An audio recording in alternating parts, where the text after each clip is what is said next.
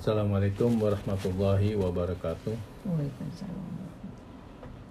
Alhamdulillah wassalatu wassalamu ala Rasulillah wa ala alihi wa sahbihi wa man wala. Melanjutkan tausiah kemarin ya. Jadi Lail ini ya ada tiga hal yang harus kita lakukan ya sesuai contoh Rasulullah. Jadi pertama berkaitan dengan masalah sholat ya Qiyamul Lail ya.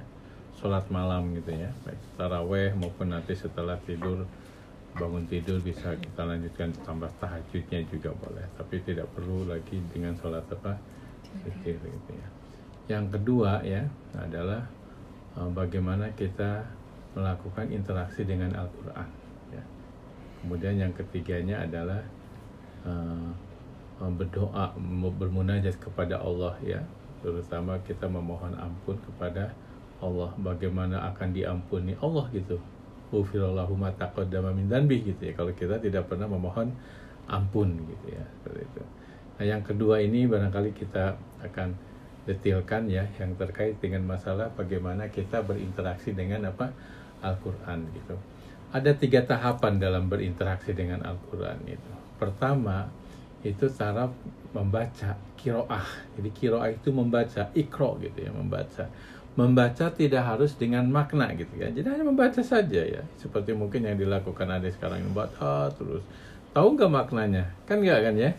Nah, tapi motivasi untuk membaca Al-Quran ini kuat sekali karena dengan membaca itu ya membaca satu huruf aja merupakan 10 apa kebaikan gitu apalagi di dalam hari di dalam bulan puasa ya sebagaimana sabda Rasulullah man qara'a harfan minal kitabi falahu bihi asyra hasanat la akulu alif lamin harfun walakin alif alif alifun harfun lamun harfun mimun harfun jadi benar-benar begitu besarnya gitu ya fadilah atau kebaikan yang akan kita peroleh ketika membaca apa Al-Qur'an. Jadi sebenarnya di sini Quran itu benar-benar seperti apa ya? Mungkin dalam sekarang seperti paket hemat gitu ya. Begitu mudahnya kita melakukan gitu ya baca satu huruf itu 10 apa? kebaikan. Apalagi kalau baca Qur'annya sangat apa? panjang gitu ya. Kemarin kan sudah membahas gitu bagaimana hubungan dengan jumlah rakaat tarawih dengan apa?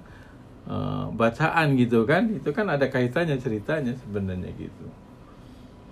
Ya, jadi benar-benar ya membaca membaca itu itu sudah ini dan itu akan menjadi syafaat kita nanti di hari kiamat gitu ya.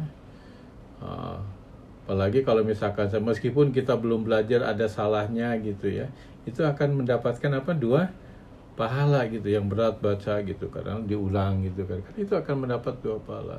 Tapi bukan berarti kita terbata-bata terus harus mahir ya sesuai tajwidnya gitu ya.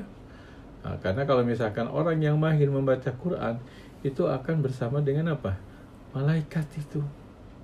Ya artinya kalau bersama dengan malaikat artinya kemungkinan dia kalau berdoa apa makbul itu istilahnya Nah, tahapan kedua interaksi dengan Al-Qur'an itu itu namanya tilawah gitu.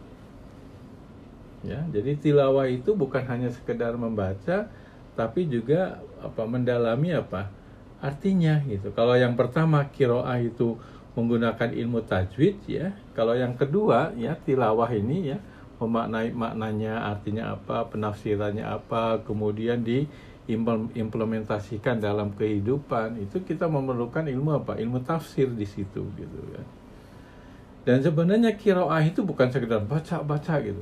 Seperti kita belajar aja kita membaca. Membaca tujuannya apa? Sebenarnya nanti untuk tahap kedua kan? Untuk tahap kedua yaitu apa? Mendalami memaknai artinya itu apa seperti apa gitu. Makanya dulu orang-orang tua ya kakek gitu nenek gitu. Sering kan kalau kita ngomongnya apa bukan hanya sekedar ikro gitu bilangnya apa? Ngaji-ngaji maksudnya kan mengkaji. Jadi mengkaji itu serupa dengan apa? Tilawah sebenarnya. Ya kadang kadang suka yuk ngederes yuk ngederes gitu. Itu sebenarnya dari apa? Darosayat rusuh mempelajari artinya gitu belajar. Kalau tempatnya madrasah gitu. Ya kalau orang yang belajarnya mudaris gitu kan itu sebenarnya belajar. Apalagi ada istilahnya majelis taklim suka namanya apa? Tadarus gitu ya Nah itu dulu saling mempelajari, saling menyimak sebenarnya. Menyimak maknanya bukan hanya sekedar apa? Bacaan. Ya, tapi ya memang sekarang sih tujuan sekali kelihatannya hanya membaca Quran saja ya tadarusan gitu kan. Tapi oke lah nggak apa-apa. Itu seperti bapak sampaikan yaitu adalah untuk membuka ke tahap apa berikutnya ya yaitu apa? Tilawah itu ya seperti itu. Dan orang yang melakukan tilawah ini ya memaknai artinya berusaha diimplementasikan dalam kehidupan itu ini sungguh luar biasa ya lebih besar pahalanya, lebih besar fadilahnya dibandingkan tingkatan dari apa kiroah saja gitu. Ya, jadi kalau tilawah itu ya eh, di dalam hadis kata Rasulullah orang yang meniti jalan untuk mencari ilmu ya itu akan dimudahkan, dimudahkan oleh Allah jalan menuju apa surga gitu. Bahkan malaikat membentangkan sayapnya karena ridha terhadap yang apa? Menuntut ilmu itu gitu kan seperti itu. Dan semua akan meminta ampun ya. Penduduk langit bumi sampai ikan di air pun akan memohon ampunan kepada orang yang menuntut apa? Ilmu itu gitu. Bahkan seorang yang alim dibandingkan seorang yang abid ya orang yang beribadah itu laksana sinar bulan dengan apa? Bintang itu. Jadi begitu besarnya fadilah orang yang apa melakukan apa tilawah gitu ya mendalami. Beda itu artinya. Bahkan di dalam di dalam apa hadis lain ya kata Rasulullah orang yang melakukan tilawah mengkaji gitu ya itu akan diberi ketenangan diberi rahmat dikelilingi oleh malaikat bahkan disanjung-sanjung Allah kepada penduduk langit seperti itu. Coba bayangkan ketika membaca misalkan Alhamdulillahirobbilalamin gitu. Tapi kita tahu artinya Segala puji ya Allah yang begitu banyak memberikan nikmat. Itu maknanya sama, memberikan ketenangan dan memberikan rahmat seperti itu gitu. Ya itu tingkatannya. Nah tingkatan yang ketiga yang paling puncak adalah apa? Tahfiz. Tahfiz itu bukan hanya sekedar menghafal ya, menghafal tapi nggak tahu makna. Sebenarnya mana tahfiz itu nanti di luar kepala dan tahu. Jadi tingkatan yang ketiga ya setelah kiroan dan apa tilawah.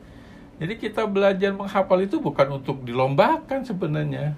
Walaupun untuk motivasi bolehlah untuk anak-anak. Tapi sebenarnya supaya kita apa? Nggak harus bawa-bawa mushaf gitu ya. Langsung hafal di kepala. Tahu maknanya langsung diterapkan begitu saja juga gitu dan seterusnya gitu. Jadi benar-benar itu ya kalau tahfiz itu tingkatan yang paling apa tinggi. Bahkan di dalam surat Al-Qamar sebenarnya mudah itu untuk menghafal. Di dalam surat Al-Qamar itu sampai empat kali itu di ayat 17, 22, 32 dan 40. Isinya sama tuh ayatnya tuh. Walaqad yasarnal Qur'ana lidzikri fahal mim mudakir ya. Sungguh ya akan kami mudahkan gitu ya. Quran itu untuk belajar Quran itu untuk apa? Mengingatnya gitu. Apakah ada orang yang mau mempelajari atau menghafal itu misalkan saja. Itu sampai empat kali gitu. Begitu mudah sebenarnya dan kita membayangkan kalau Al-Quran membaca apa menghafal itu itu lebih tinggi dari dua tingkat sebelumnya kan? Coba membayangkan. Kalau menghafal misalkan mama ketika menghafal gitu berapa kali dibaca satu ayat? Sampai berulang-ulang itu. Bahkan ada membaca itu gitu ya untuk tahfiz itu sampai harus minimal tujuh kali ada yang sampai sepuluh kali supaya apa? Hafal. Itunya saja apalagi kalau tahu maknanya. Kalau tahu maknanya langsung diterapkan dalam kehidupan sehari-hari gitu Nah, ini yang ingin saya Bapak sampaikan terkait dengan tilawah gitu ya, belajar itu nggak usah banyak-banyak gitu. Ya satu sampai lima lah gitu ya, satu ayat sampai lima ayat lah maksimum, jangan banyak-banyak gitu. Dan dan ini rahasianya nggak usah kita belajar dari Al-Fatihah sampai Anas gitu, nggak usah. Pelajari saja sesuai aktivitas kita. Ya, soal misalkan mama pelajari bagaimana menjadi seorang ibu yang baik, papa menjadi papa yang baik Lia bagaimana jadi dokter yang baik, Mbak Pita bagaimana menjadi guru yang baik misalkan saja. Mas Yoga bagaimana menjadi suami yang baik gitu. Itu saja gitu. Ya, nanti terapkan di dalam kehidupan sehari. Itulah tilawah sebenarnya nggak harus apa muluk-muluk baca dari awal gitu ya sampai akhir enggak. Itu yang sesuai aktivitas kita saja gitu. Kemudian nanti dikembangkan. Yang mudah-mudahan di dalam apa di dalam bulan puasa ini kita bukan hanya sekedar kiroah tapi juga apa? Tilawah. Nggak usah banyak-banyak yang sesuai dengan apa yang kita kerjakan saja ya. Ya mungkin itu saja. Uh, marilah kita tutup dengan doa penutup majelis subhanaka allahumma bihamdika asyhadu la ilaha illa anta astaghfiruka wa atubu ilaik. Assalamualaikum warahmatullahi wabarakatuh